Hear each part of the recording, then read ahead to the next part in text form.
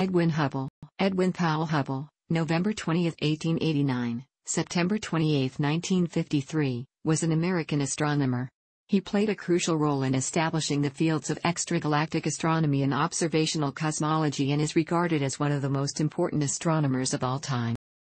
Hubble discovered that many objects previously thought to be clouds of dust and gas and classified as nebulae were actually galaxies beyond the Milky Way. He used the strong direct relationship between a classical Cepheid variable's luminosity and pulsation period, discovered in 1908 by Henrietta Swan Leavitt for scaling galactic and extragalactic distances. Hubble provided evidence that the recessional velocity of a galaxy increases with its distance from the Earth, a property now known as Hubble's law despite the fact that it had been both proposed and demonstrated observationally two years earlier by Georges Lemaitre. Hubble's law implies that the universe is expanding. A decade before, the American astronomer Vesto Slipher had provided the first evidence that the light from any of these nebulae was strongly redshifted, indicative of high recession velocities. Hubble's name is most widely recognized for the Hubble Space Telescope which was named in his honor, with a model prominently displayed in his hometown of Marshfield, Missouri. Edwin Hubble was born to Virginia Lee Hubble, née James 1864-1934, and John Powell Hubble, an insurance executive, in Marshfield, Missouri, and moved to Wheaton, Illinois, in 1900. In his younger days, he was noted more for his athletic prowess than his intellectual abilities, although he did earn good grades in every subject except for spelling. Edwin was a gifted athlete, playing baseball, football, basketball, and running track in both high school and college.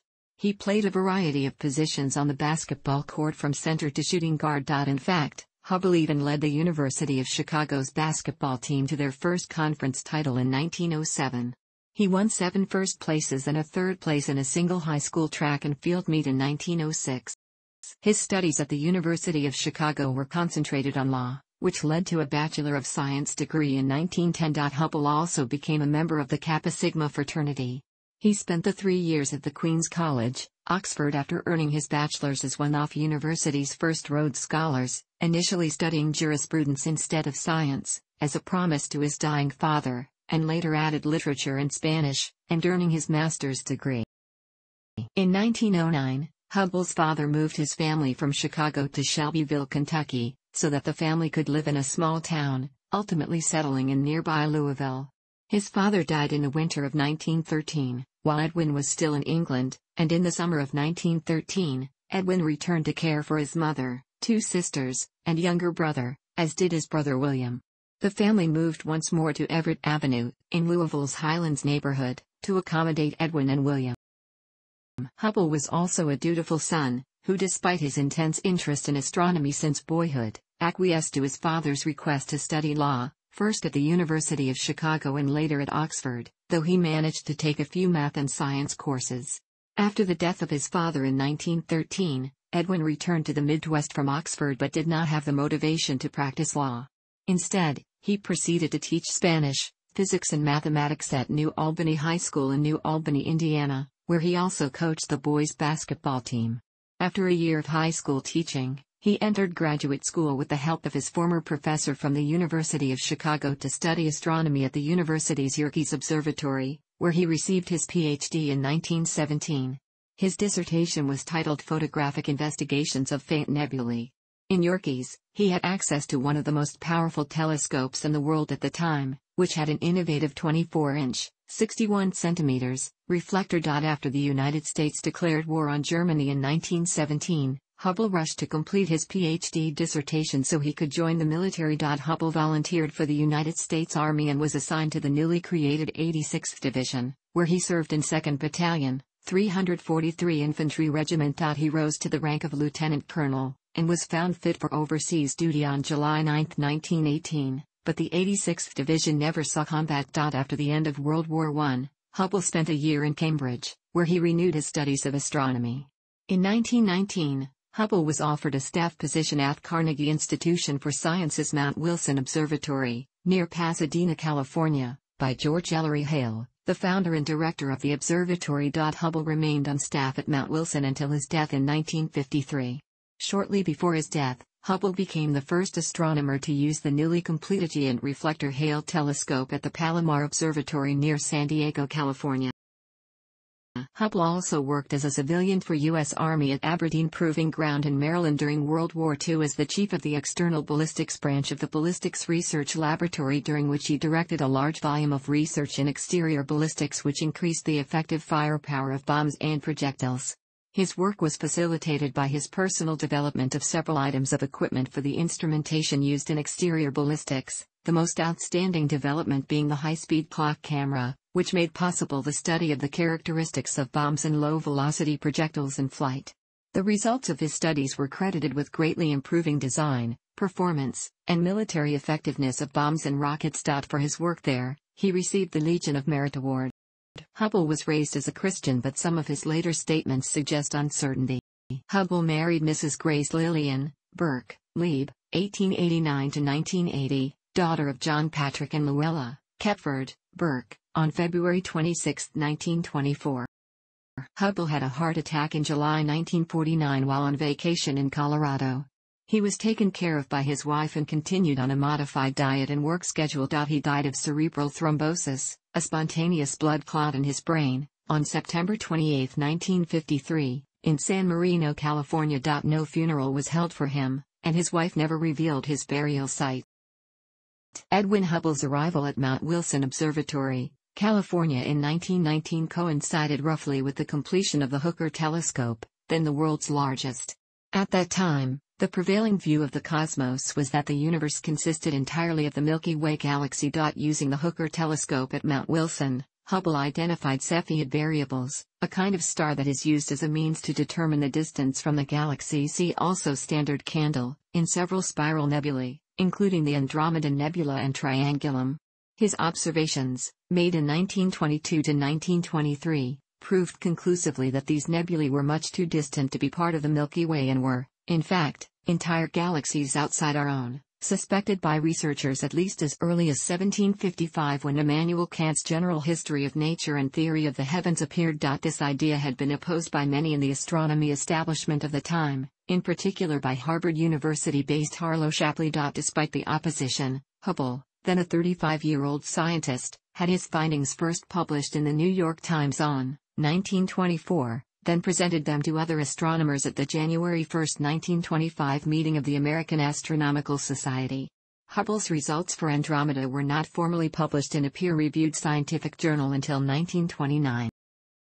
Hubble's findings fundamentally changed the scientific view of the universe. Supporters state that Hubble's discovery of nebulae outside of our galaxy helped had paved the way for future astronomers. Although some of his more renowned colleagues simply scoffed at his results, Hubble ended up publishing his findings in nebulae. This published work earned him an award titled the American Association Prize and $500 from Burton E. Livingston of the Committee on Awards. Hubble also devised the most commonly used system for classifying galaxies, grouping them according to their appearance in photographic images. He arranged the different groups of galaxies in what became known as the Hubble sequence. In 1929, in his first published paper, Hubble examined the relation between distance and redshift of galaxies. Combining his measurements of galaxy distance with measurements of the redshifts of the galaxies by Vesto Slipher, and by his assistant Milton L. Humason, he found a roughly linear relation between the distances of the galaxies and their redshifts, a discovery that later became known as Hubble's law. This meant, the greater the distance between any two galaxies, the greater the relative speed of separation.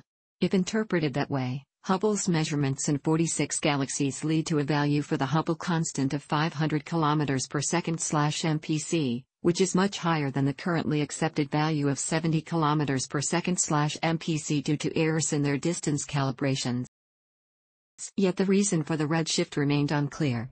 Georges Lemaitre, a Belgian Catholic priest and physicist, predicted on theoretical grounds based on Einstein's equations for general relativity the redshift distance relation, and published observational support for it, two years before the discovery of Hubble's law. However, many cosmologists and astronomers, including Hubble himself, failed to recognize the work of Lemaitre. Hubble remained doubtful about Lemaitre's interpretation for his entire life.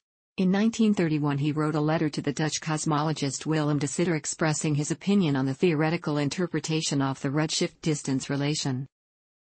Today, The apparent velocities in question are understood as an increase in proper distance that occurs due to the expansion of space. Light traveling through stretching space will experience a Hubble type redshift, a mechanism different from the Doppler effect, although the two mechanisms become equivalent descriptions related by a coordinate transformation for nearby galaxies. In the 1930s, Hubble was involved in determining the distribution of galaxies in spatial curvature. These data seem to indicate that the universe was flat and homogeneous, but there was a deviation from flatness at large redshifts.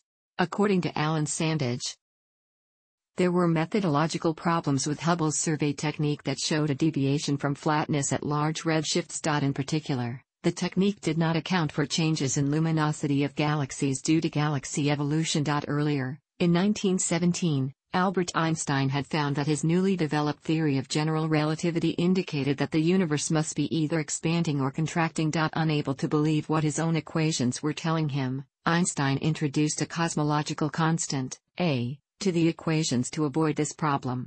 When Einstein learned of Hubble's redshifts, he immediately realized that the expansion predicted by general relativity must be real, and in later life he said that changing his equations was the biggest blunder of his life.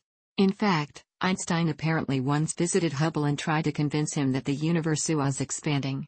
Hubble also discovered the asteroid 1373 Cincinnati on August 30, 1935.